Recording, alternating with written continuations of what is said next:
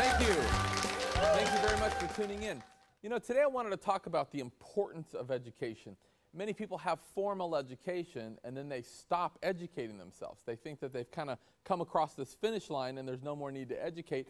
And you know, with the, today, with the world advancing so rapidly, with technology advancing so rapidly, our education has to keep up with this and has to constantly change or we could actually be left uh, behind in our businesses.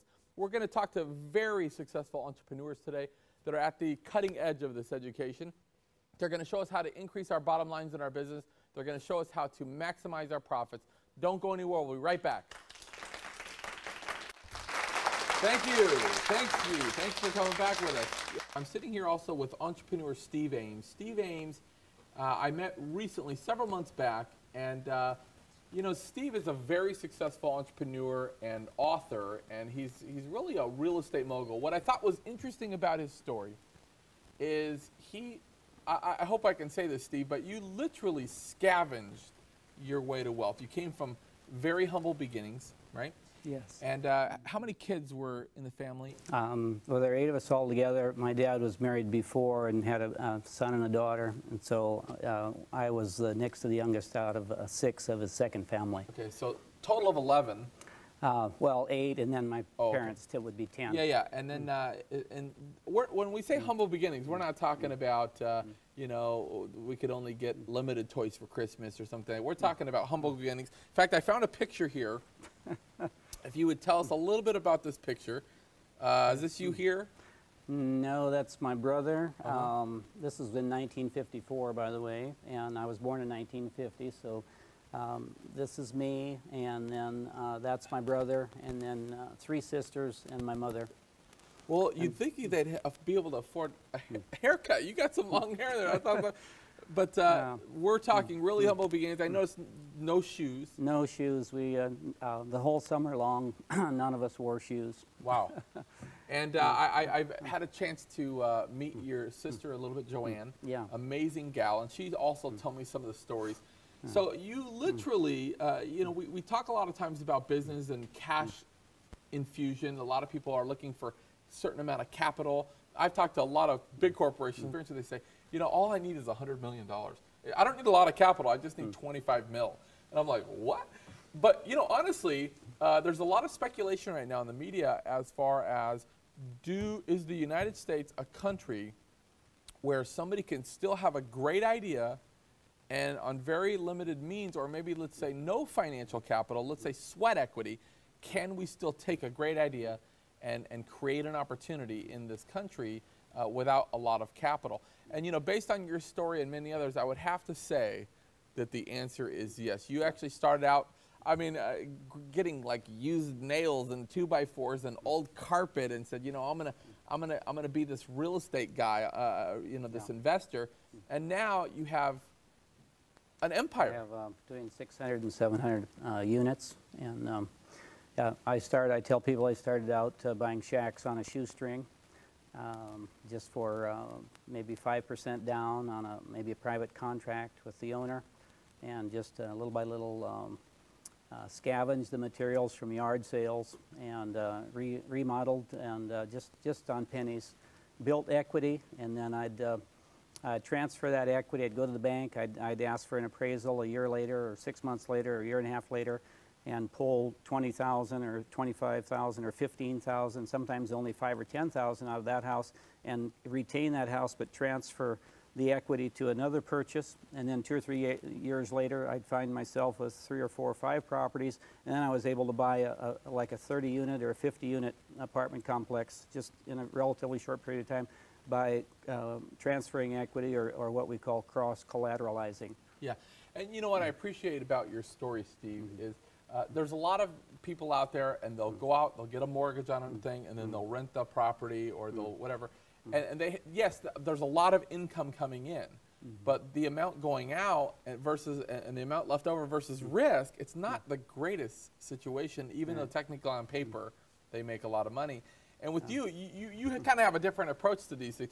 I know you're very goal oriented. We were mm. talking earlier about, and I, I believe you too. Every mm. goal he's ever said, he says, you know, here's what I'm going to do.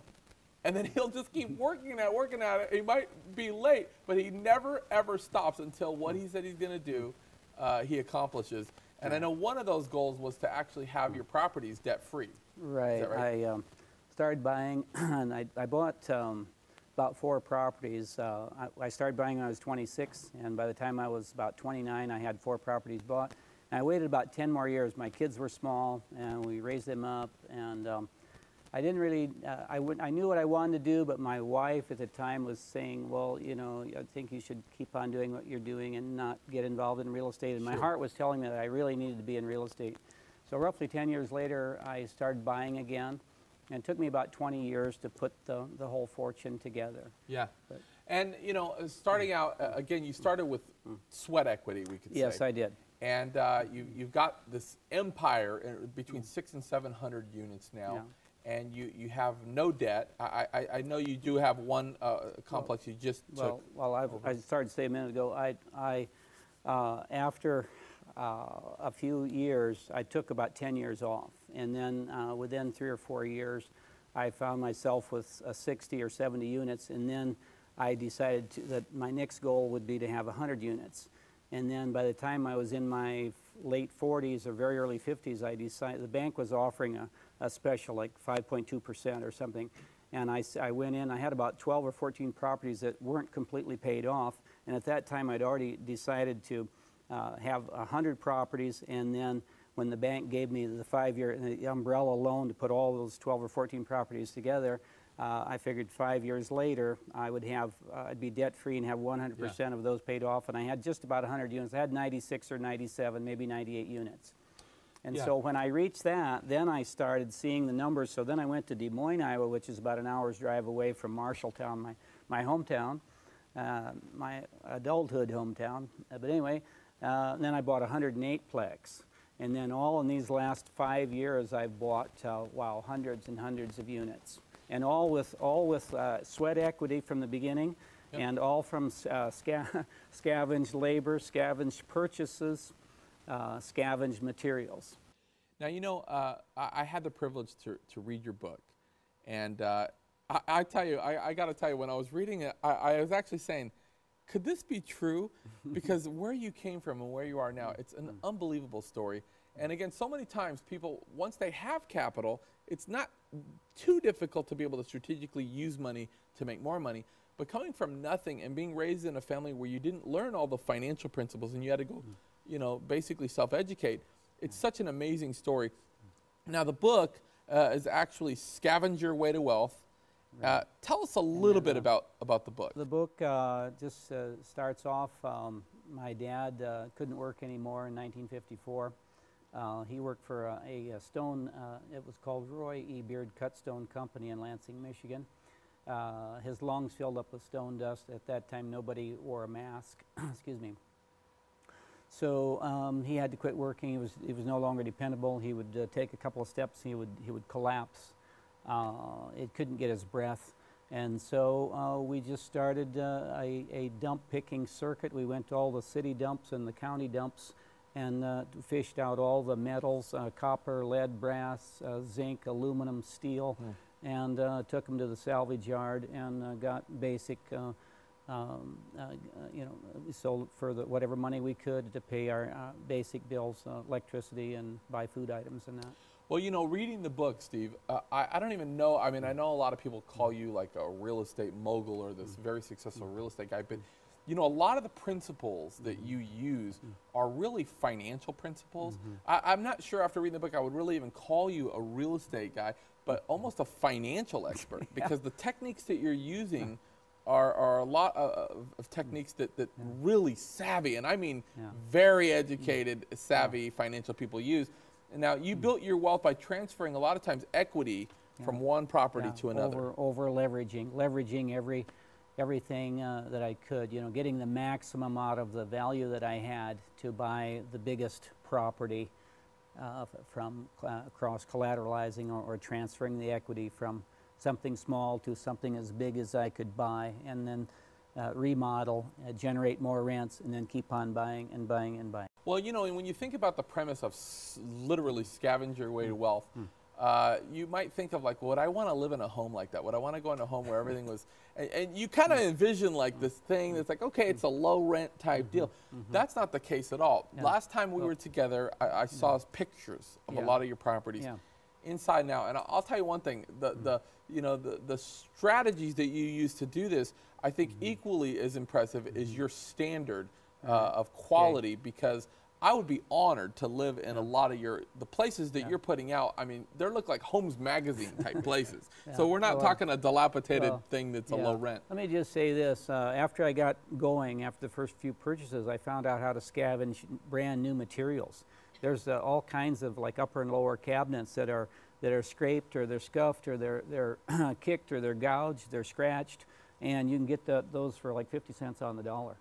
And uh, all you have to do is you know paint them, or you can sand out the, the smudges, sand out the scratches, and uh, install them. Nobody knows the difference. Same way with uh, roofing. One time I bought enough uh, uh, asphalt shingles to do three or four roofs, and when they came out of the factory, they looked really neat, but like on one end or the other, it was a little bit too light or a little bit too dark.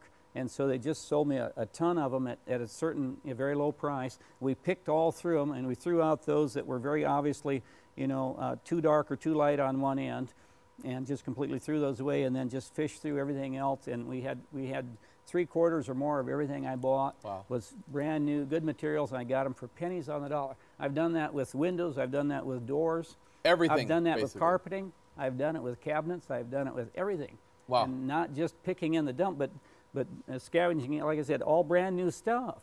Yeah, so it's not dilapidated. They were talking new stuff here, and you know we Yeah. Mm. really appreciate these success principles, and the and again we're talking about being able to build an empire from nothing. And uh, we're Mm. going to take a quick break. We're going to come back with Steve Ames. We're going to learn more financial Mm. tips of how to make something from nothing. Don't go anywhere. We'll be right back.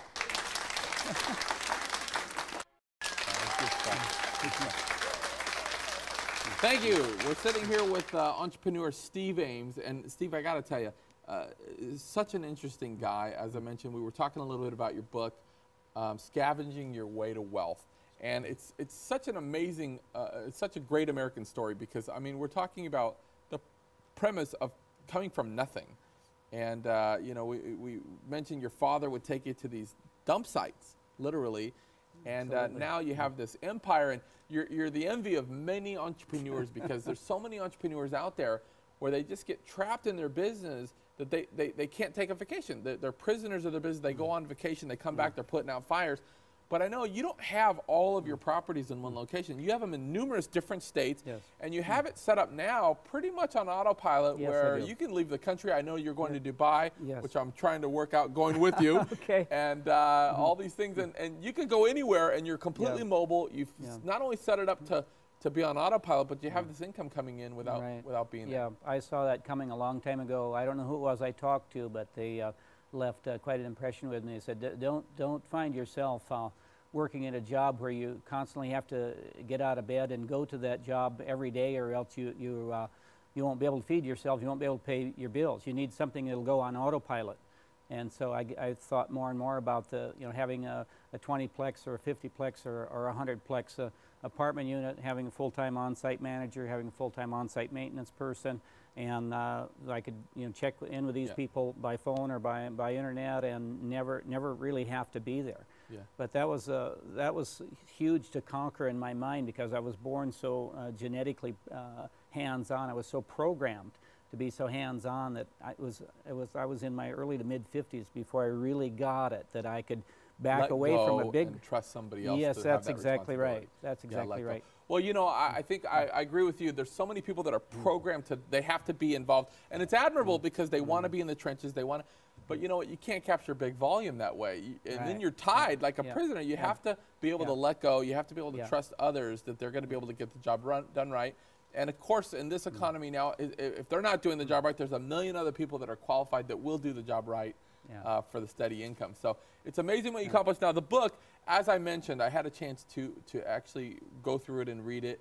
And there's amazing, not only amazing stories, but there's a lot of success principles that if people had nothing and they said, you know what, hard work and sweat and and, and there's a lot of principles people could take and actually create something very substan- uh, substantial. What kind of impact do you feel like this book would have on others? I know what I. Well, think it will have. Well, for one thing, the economy is not so good right now. Um, people can do exactly what we've been talking about here, just the, exactly the same as I've done. I mean, even though I started 35 years ago, um, and uh, you don't have to go into a bank and say, well, uh, I, I need uh, 20,000, 40,000 uh, to get into this business or that. You can literally start with, with pennies, and that's, that's one of my main messages. You, don't, you really don't have to have tons of savings. You don't. So if there's somebody in our viewing audience right now that's saying, you know what, I know that more millionaires have been created through real estate than anything else. It's a proven fact. I know that I could do this, uh, but I don't have any capital. I don't know how to start. I don't. uh, Do you feel like realistically, if somebody's out there and they don't have any money, they might be able to put together 500 bucks or a thousand bucks. They Yeah. can't come up with a loan. They don't have the Yeah. credit to swing it. Yeah. Through tips in your book and through hard work, can they accomplish You in can- this day and age yes, what you yes, accomplish? you, you can always find somebody. Let's say you hunt, hunt the community, hunt through the community and find a shack. Um, maybe you find 10 shacks. Well, maybe nine owners of those 10 owners, they want at least 5,000 or 10,000 down. And, and, and then after that, they want to set you up on payments. If you don't have that kind of cash, they'll say, sorry, pal, uh, you get on down the road because we don't want to deal with it. But there's probably one person out of 10 uh, that, that will say, I'll well, uh, give, give, I'll work something out. Give Yeah. me a thousand dollars. Uh, If you get a tenant in there in the next month or so, we'll delay your payments here for a couple of months. I know that'll generate 600 a month. Uh, you give me 300 a month for the next uh, two years, and let's have it appraised at that time, and, and then we'll go from there. There's always somebody ready to do a deal with you. There's always somebody ready to do a Yeah. deal. It doesn't matter. They'll just sort of take a liking to you. They'll see something in your personality. They'll, they'll believe you. It might come at a time for them they just want to get it behind them. Absolutely. And, and so there you are. Well, in a corporate application, I know so many business owners are so frustrated with their business, and the Mm. business might have a lot of assets, but it's technically losing money on payroll, Mm. and they get so frustrated.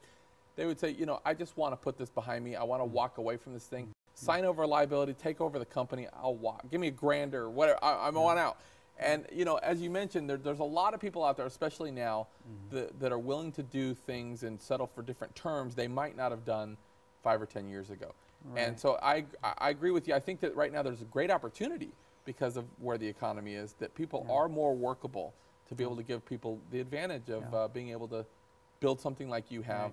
Uh, literally from nothing. Now, I, I believe this book is going to really be embraced and it's going to impact millions and millions of lives. Is there a plan for follow-up books? or- Um, Uh, yes. what can I is. get, Steve? I already read that book. I mean, there's else you Well, I've. I've Give me the actually. I've written a, a few pages of the second book, and it's also going to be we're creating a, a scavenge your way to wealth series, and uh, so the first one is a scavenge your way to wealth, and then um, a rags to riches memoir. The second one is scavenge your way to wealth, shacks on a shoestring as a subtitle.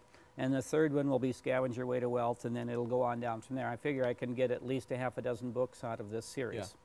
And I know, I know you're already a very successful guy. I know that I, I know you pretty well, Steve. I know you don't do anything for money. I, I know you have this drive in you to genuinely help people and really af- provide affordable housing to Right. people. And uh, I I know with the book series, you wouldn't put those books out there unless you could provide real value that you believe would really help some folks. Absolutely, because I'm, as you could see, everything that I wrote about, it's 100% the truth. I wasn't um, drawing on anybody else's ideas. Ev- everything is, is, is, is uh, what I've uh, documented. I had those personal experiences. And I plan to do the same. The second book that I've already started, that's called uh, Shacks on a Shoestring, I, I bought the, a shack the other day for $10,000 with $1,000 down. So there you go, Yeah. thousand dollars. Yeah. You're, you're and I'm going to document every stage of, um, of the remodeling or the rehabbing, and all with scavenged labor, scavenged materials, and then I scavenge the, the purchase also. You go through uh, bankruptcy attorneys or you go through uh, defaulted Right. assets through banks. There's always a, a banker, somebody in, in a Willing bank to. that handles only the defaulted assets. If you've got an account there, if you've got a pretty good credit rating, if you've got uh, maybe a little bit of connection, uh, you might even ask for, I never asked for a cosigner. I did everything on my own, but some people, maybe they have a, a father, mother, aunt, uncle that might cosign. There's always a way. Always a way. right? There's always a way. Yeah. And you know, we appreciate you so much, Stephen. You know, on our show, we try to make one very practical business point every single week, every episode. We try to give away one success principle. Uh, but we've been talking about the importance of education. And you know what? A, a, a big part of being a successful uh, entrepreneur is, is risk. You know, a lot of times people are out there and they're looking for that perfect scenario where the stars line up perfectly and you got that zero risk situation where you got this guaranteed win. And you know, that never happens. And if there's no risk, generally there's not much to gain. You don't stand to win very big either if you want that no risk scenario. So as an investor myself, I, I kind of look at it like, like Vegas odds. I try to find like an 80-20 rule. You know, if I, if I see a deal and I'm 80% sure it's likely it's going to succeed, but I see 20% risk, I'm like you, I'm all in quickly or I'm out. I say, you know what, I'm in, it's 80% likeliness. And the way I look at it, that is sometimes I make bad decisions. Sometimes we slip on, uh, slip on banana pills, we make bad investments.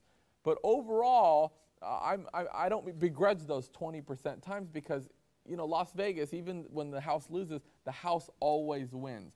And if I didn't have that philosophy of approaching business that way, I, not, I wouldn't have those 20% losses, but I wouldn't have the 80% wins either. And I think you have to be comfortable with pulling the trigger, uh, looking at risk, assessing risk properly. And one way you've able, been able to actually minimize risk is by finding materials lowering your fixed cost uh, and minimizing that margin. Another thing too, in my case, I didn't have anything, so, you know, you, you, if, you, if you don't have anything, you risk everything because right. you have Yeah. nothing to lose. Exactly, that's a great If you, point. if you don't have anything to Can't lose, fall that far you're reach for the, you reach for the stars, and that's what I did. Absolutely, that's a great point. There's a saying that says if you shoot for the stars, you might hit an eagle. And when you don't have anything to risk, you got to jump all in. So if you're out there, if you're thinking about, you know, I'd love to get involved, I'd like to be an entrepreneur, I'd like to do something, but you know what, I don't have any money. Don't use capital or the lack of capital as an excuse. Get involved. Pick up Steve's book, uh, Scavenge Your Way to Wealth. Will be out due out Uh, by the end of July. end of July. We'll keep you informed with that. And I'll tell you what, Steve, it's been such a pleasure having you on the show. Come back, would you? I sure will. You know, guys, that's our show tonight. Thank you very much. And uh, don't forget to get involved in your local community and be forgiving of others. Good night, everybody. Thank you.